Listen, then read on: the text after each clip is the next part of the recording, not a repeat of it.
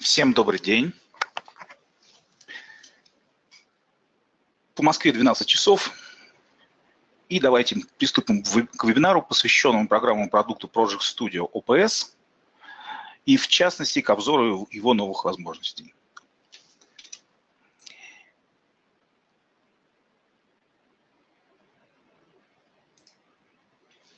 Я не хочу рассказывать а, сейчас на этом вебинаре о функциональных возможностях Project Studio OPS.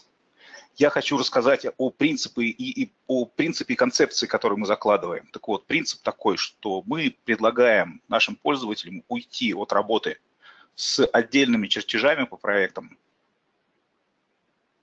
работа с примитивами, такими как дуги, блоки, окружности, там, э, линии, полилинии, и перейти к построению модели всего проекта целиком по объекту с использованием интеллектуальных трехмерных объектов. И как происходит построение модели в этом случае. В Project Studio OPS есть база условно-графических обозначений.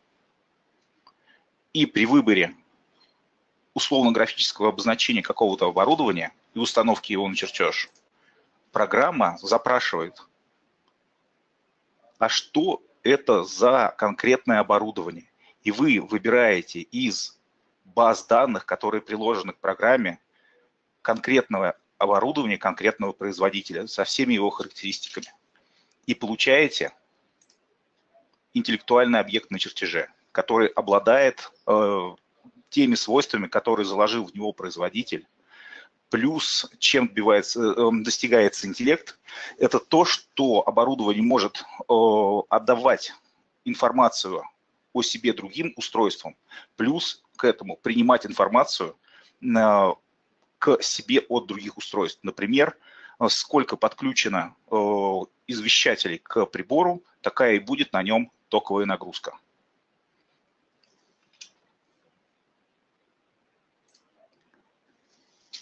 Чем достигается построение модели? Как я уже сказал, есть база условно-графических обозначений. Она разбита на категории, причем категории названы таким языком, который понятен проектировщику. Если мы идем в категорию ППК, то значит мы там увидим условно-графическое обозначение прибора приемно-контрольного. Плюс к этому база полностью открыта для редактирования и существующих условно-графических обозначений. К тому же можно добавлять собственные условно-графические обозначения. Если же произошла какая-то, ну, всякое бывает в проекте, нужно заменить условно-графическое обозначение. Это спокойно можно сделать. И также условно-графические обозначения масштабируются в зависимости от масштаба чертежа. Нужно вам, э, делали масштаб сотку, нужно вам распечатать двухсотку, соответственно, ставите 200, УГО перестраиваются под 200 масштаб, что, и что будет соответствовать нашим стандартам. Также, как я уже говорил, в программу встроены базы данных производителей оборудования. Присутствуют производители оборудования как охранно-пожарных систем, так систем оповещения, систем видеонаблюдения, систем контроля и управления доступом, кабель-несущих систем, а также кабельная продукция. Давайте посмотрим на преимущества моделирования. Ну, так как мы работаем с конкретным оборудованием, конкретным производителем, то, соответственно, проект будет ограничен этими параметрами, которые заложены в оборудовании производителя. Например, в адресном приборе 127 адресов программа вам 128, на 128 адрес подключить не даст. К тому же, параметрами обладает не только оборудование, но и сам проект. Соответственно, мы можем проконтролировать как по параметрам оборудования проекта, так и по параметрам проекта. Так, поступил вопрос.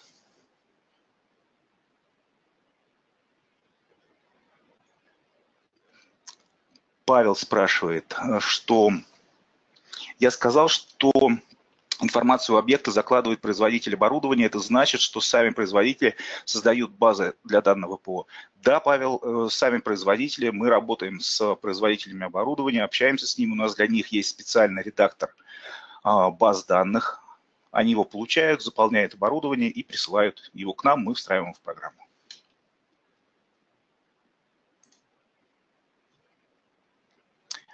Про контроль сказал. Так, следующее, что мы можем сделать.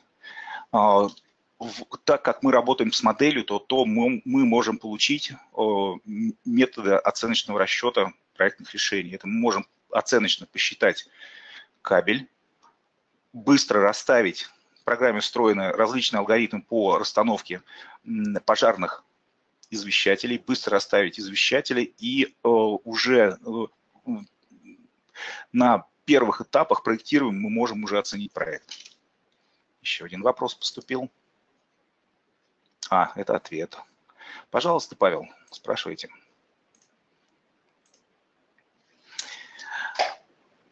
Так как мы работаем с моделью, то отчеты получаются а, по проекту в три клика. Что это значит? Ну, а, когда вы работаете с отдельными чертежами и используете э, примитивы, то у вас происходит э, обработка одной и той же информации несколько раз. Что это значит? Э, это значит, что вам нужно сначала э, поставить извещатель на чертеж, там провести кабельные линии. Это первое, первый этап обработки информации. Второй раз вы ее обрабатываете как-то. Вам нужна спецификация. Соответственно, вы опять делаете то же самое. Считаете извещатели, считаете кабельные линии и другое оборудование. Плюс к этому нужно кабельные журналы. Опять же, вам нужно обработать одну и ту информацию по кабелям уже третий раз. Плюс еще расчеты по оборудованию. Опять же, получается многократная обработка одной и той же информации. При моделировании вы получаете все отчеты с чертежа. То есть вы восстанавливаете оборудование, проводите кабельные линии, соединяете оборудование между собой. Все отчеты дальше получаются автоматически. Причем отчеты всегда связаны с чертежом. То есть какое-то изменение, но это уже следующий пункт, какое-то изменение у вас произошло, сразу же у вас получается согласованная документация. То есть добавились, удалились те же самые извещатели – это все будет отражено сразу же в спецификации. Добавилась кабельная линия между оборудованием, сразу же в кабельном журнале будет отображено дополнительная кабельная линия. Это преимущество моделирования. А, при работе а, в Project Studio OPS происходит комплексное проектирование таких систем, как система пожарной сигнализации, система оповещения, система охраны сигнализации, система видеонаблюдения, система контроля и управления доступом, а также кабель несущих систем. То есть все системы безопасности комплексно проектируются и моделируются в Project Studio OPS. А, в результате работы можно модель задокументировать. Прежде всего, из документов мы получаем это спецификации, кабельные журналы, структурную схему, различные таблицы, которые помогают, а, так сказать, полнее раскрыть проект, а, а также расчетные таблицы. Это таблица расчета резервированных источников питания, точнее батареек, установленных в нем – таблица расчета оповещателей, то есть не самих оповещателей, а уровня звука оповещателей в контрольной точке. А, таблица расчета зон обзора и углов обзора видеокамер. Плюс ко всему, а, программа может стать комплексу, стать частью комплекса BIM технологий, если вы ее используете, и из нее получать 3D-модель в формате FSC которая может быть встроена как в архитектурные программы, такие как Revit, Archicad, а, или в расчетные программы, такие как Navisworks, Solibri Model Checker, для того, чтобы проверить весь объект, то есть со всеми уже системами на коллизии. Ну, давайте перейдем уже непосредственно к теме вебинара, к новым возможностям. И такая мощная новая возможность – это поддержка платформы от AutoCAD 2018, то есть поддержка текущей версии DVG файла. А, давно у нас просили уже сделать, мы просто не знали как, теперь мы знаем как. Это топология звезда для того, чтобы правильно проектировать систему э, электропитания оборудования и систему оповещения. А, глубокая модернизация работы с адресными системами. Теперь намного точнее можно будет указывать адреса при работе с адресными системами.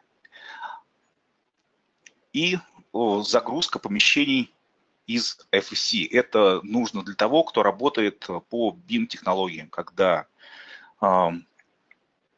нужно э, не только передать э, информацию из Project Studio OPS в формат FSC и потом в другие программы, а из других программ с помощью формата файла FC мы загружаем информацию из других программ. И, конечно же, проделано много различных мелких улучшений и дополнений. Давайте вживую посмотрим.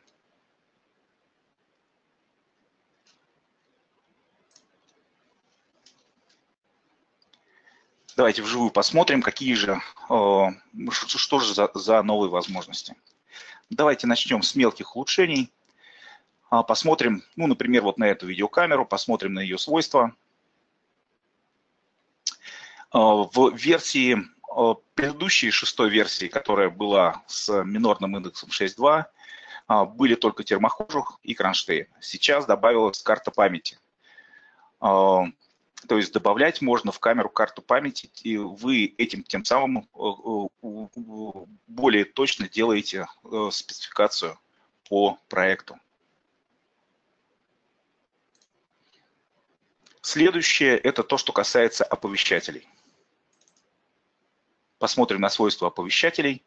И также к оповещателям на чертеже можно добавлять базовое основание. Это в основном нужно для работы с, а, скажем так, с импортными а, системами безопасности, когда оповещатель встраивается в шлейф, и базовое основание, если мы посмотрим откуда оно берется? Оно берется из э, той же самой таблицы, что и для пожарных извещателей, что, в общем-то, правильно. Опять же, с помощью этого свойства вы намного точнее специфи специфицируете проект.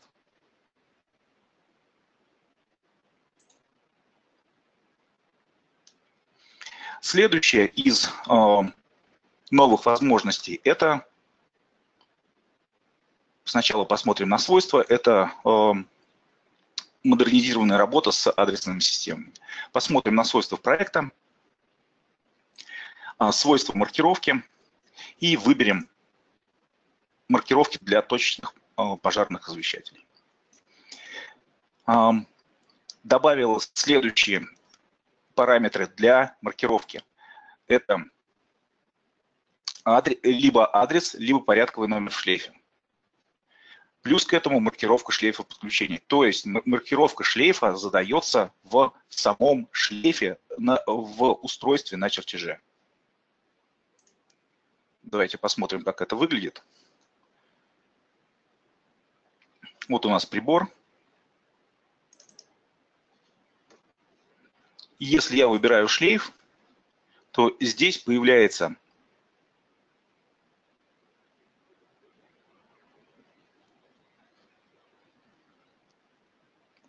маркировки по шлейфу.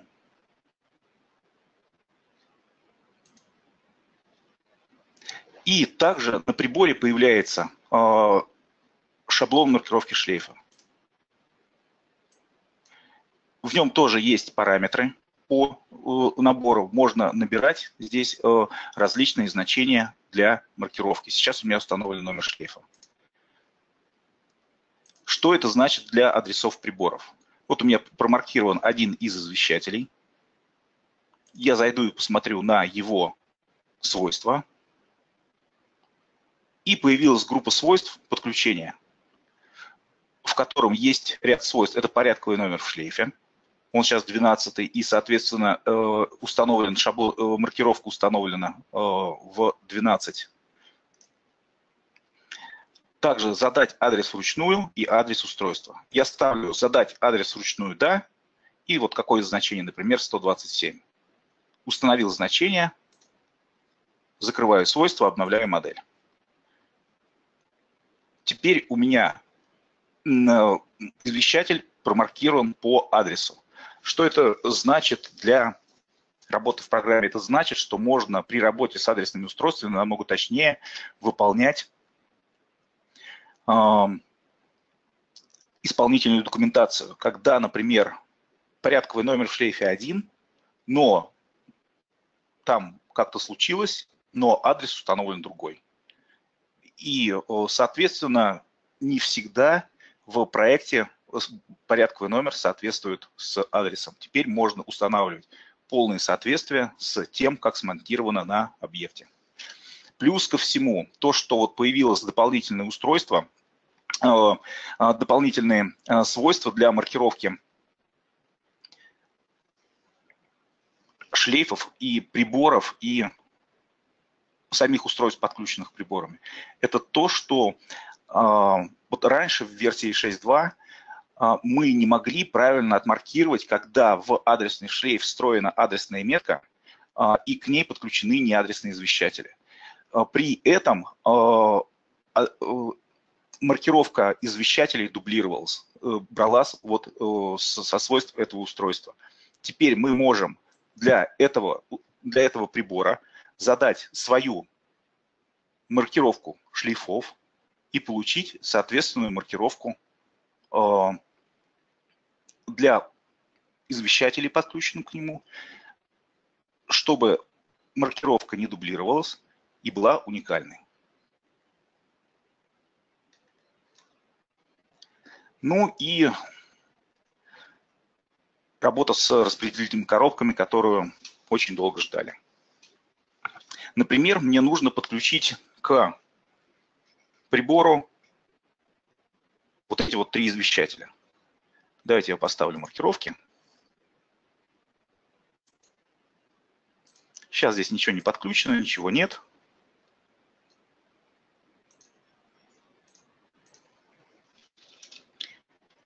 Кабель а, не проложен по кабельным каналам.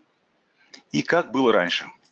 Например, я выбираю мастер подключения, и мне нужно к вот этому реле, нет, к этому уже что-то подключено, вот к этому реле подключить вот эти вот три оповещателя. Я подключаю их. Enter. Они теперь подключены. Закрываю, обновляю модель. И смотрите, здесь у меня два кабеля. Соответственно, кабель отсюда идет сюда, потом возвращается сюда и уже идет к этим оповещателям. Как теперь это все происходит? Я открываю базу условно-графических обозначений. У меня есть распределительная коробка.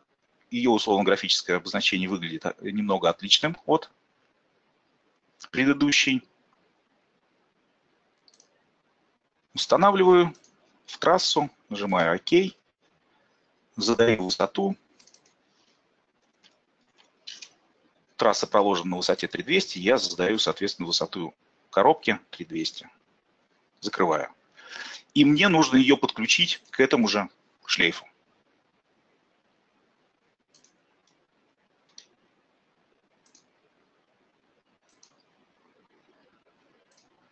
Подключаю коробку, она позеленела, значит, она подключена. Это видно уже в подключении. Теперь смотрю, я, откро, я открою ее свойства и вижу, что у меня появился вводной шлейф и три отводных. Три почему три? Потому что мы сделали вот такое значение по умолчанию 3. Вы можете поставить 10, и у вас будет 10 ответвлений. Следующее, что я делаю. Я выбираю у коробки мастер подключения. Выбираю первый отвод, нажимаю Enter. Оповещатель позеленел, значит он подключился. Выбираю второй отвод, подключить. И подключаю вот эти два. Они позеленели, видно, что они подключились. Закрываю и обновляю модель. И теперь у меня здесь один кабель. Вот в этом, вот здесь будет у меня два кабеля. Ну, если я промаркирую. Ну, здесь их будет довольно-таки больше, чем два, потому что здесь э, кабели для систем сигнализации проходят. Вот. Но вот он, этот кабель, в этом месте его будет два. И потом он ветвится сюда и сюда. Это вот как раз мы реализовали то, чего так ждали, э, топологию звезда.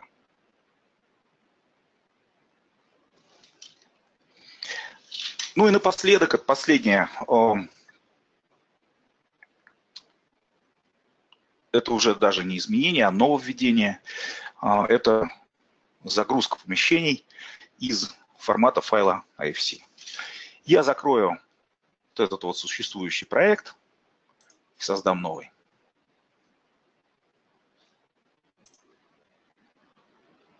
Название оставлю такое, папка расположения OPS65 использую уже существующую базу данных для того, чтобы не экспортировать оборудование. Сохраняю проект.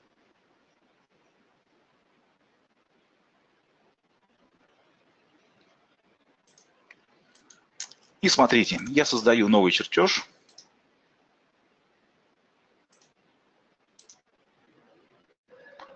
Он у меня сразу же открыт в рабочей, вкладка его открыта в рабочей области автокада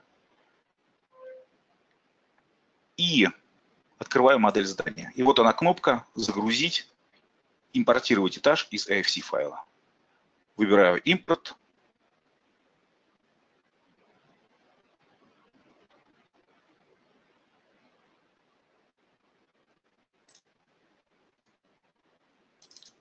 Подоснова, AFC.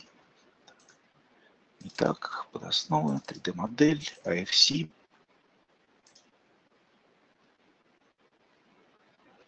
и выбираю вот этот вот AFC файл. Открыть. Происходит открытие AFC файла. И смотрите, какой функционал здесь есть.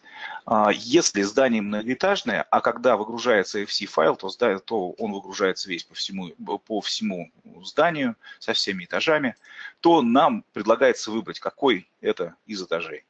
Я, например, выбираю, что первый этаж, нажимаю «Импорт», просит указать точку, куда вставить. Я говорю, что вставить 0.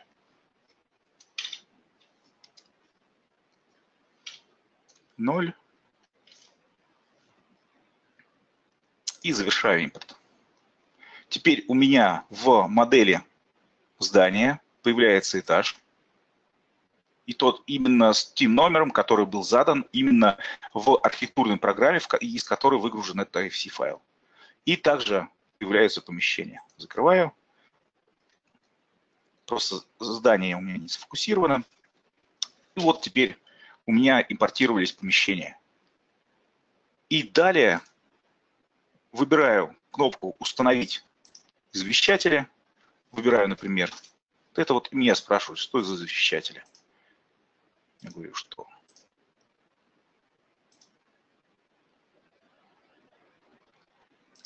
выберу автономные, нажимаю ОК, и у меня происходит запрос из базы УГО, что это, и программа расставила мне уже сразу же извещатели по помещению. Это как раз является одним из методов а, оценочного расчета.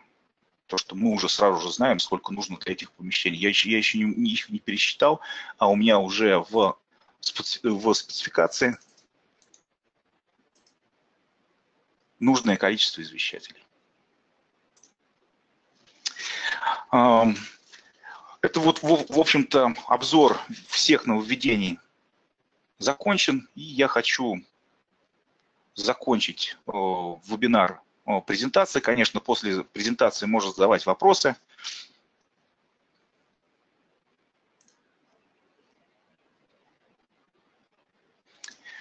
А, ценовая политика. Эксклюзивным дистрибьютором программного обеспечения Soft, разработки Soft Development является команд, э, компания SSD. Точнее, CSD. Вот. Ниже вы видите контакты, телефоны, адрес. Компания находится в Москве. И в самом низу веб-сайт вы можете записать, э, зайти на сайт, посмотреть информацию о продуктах.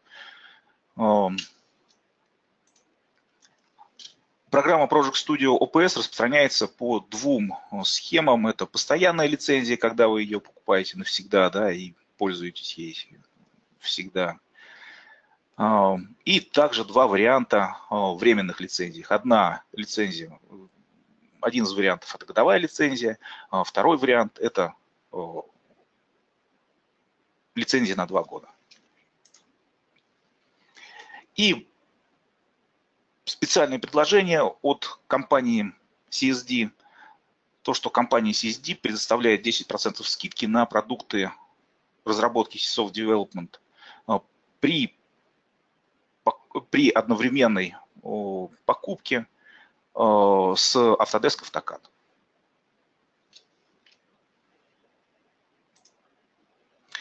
Ну, в итоге, что хочется сказать, что да, действительно, это э, работа в самой популярной среде э, проектирования, это Autodesk AutoCAD. Это комплексное проектирование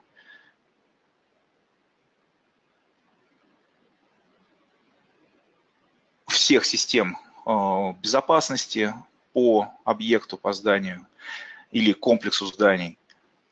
Это модель как трехмерная, так и в э,